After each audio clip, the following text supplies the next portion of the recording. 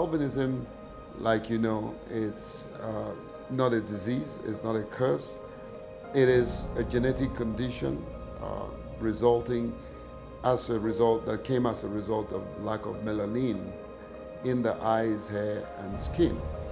Growing up as an albino is not so easy, but for with God backing you up, I think um, I've been achieving, achieving some things.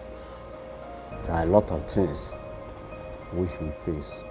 Societal uh, challenges, even from your immediate family, we face a lot of challenges and discrimination.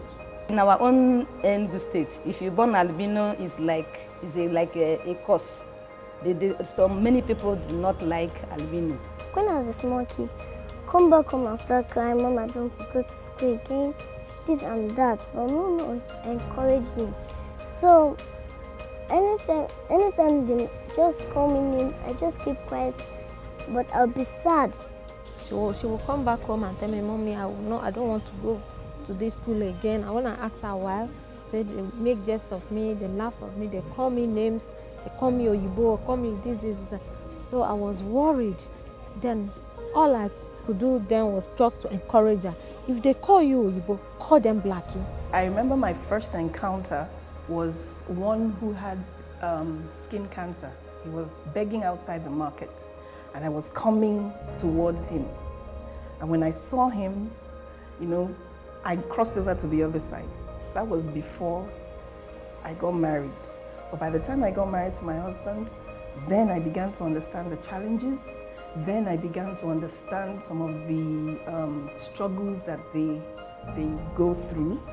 And um, my proximity, especially with the women, I began to have a soft spot for them when I saw, I saw them have twice my struggles.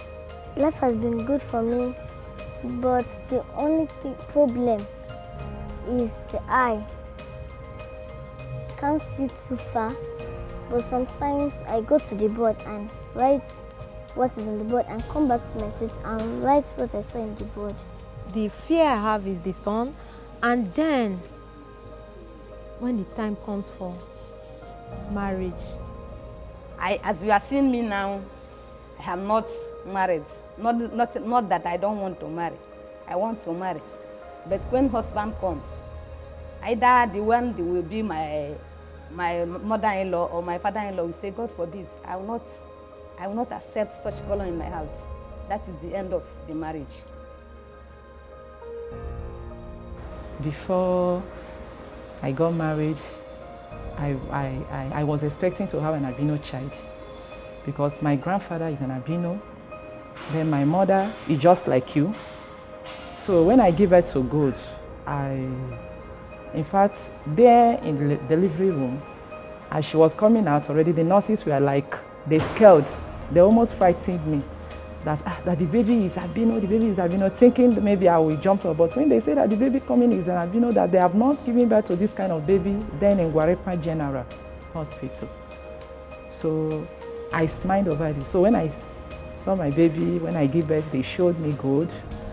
Then she was very, her color is different from the color I'm seeing now. She was very white, but the head, was, her hair was blunt. And what I would say to people over there is that they should stop uh, insulting an albino. Whenever they see them, they should admire them. There's no difference between me and the black people. The only difference there is the color. The blood that runs under your vein is the same blood that runs under mine. I really wish people would give them a chance. I wish people wouldn't judge them based on their outlook. Um, I, wish, I wish people would be kinder to them. I wish people would um, reach out and help them, say hello to them. You know. The thing I want them to know is to learn how to treat all of us together. Not that because in our school, sometimes as in, they just make jest of me and I used to be so sad. The only thing I want to say that let them just be equal with me and I'll be equal with them. in Yoruba land, they believe that any part of albinism, any part of our body is money.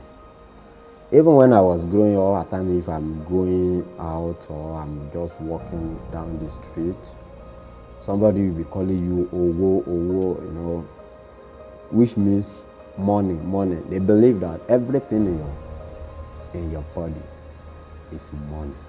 And they just, they also recognize albinos as small gods. They believe that we are different from other. They call us Orisha, which means small god. They have the ones that say that um, if you have HIV and you sleep with someone with albinism, it cures it. Um, you have a lot that um, they don't see at night. They don't eat salt. That's a very prevalent one.